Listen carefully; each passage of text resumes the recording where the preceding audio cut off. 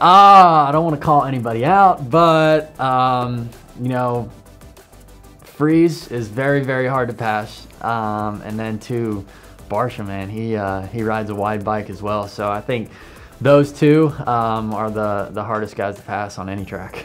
my hero in the industry, um, my teammate Coop. I mean, he's he's overcame uh, a lot of stuff to get where he is now, and and he's a two-time Supercross champion, and um, you know, I I definitely look up to him, have for a long time, and uh, yeah, I'd say he's uh, he's my biggest hero in, in sport right now. Malcolm Stewart, James Stewart, present, past.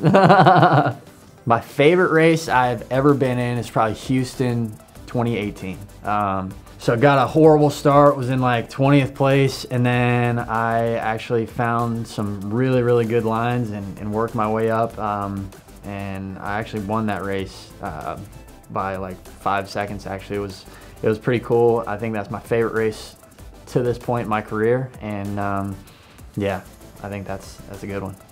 Um, other than a house, um, I would say my Chevrolet 1500, baby.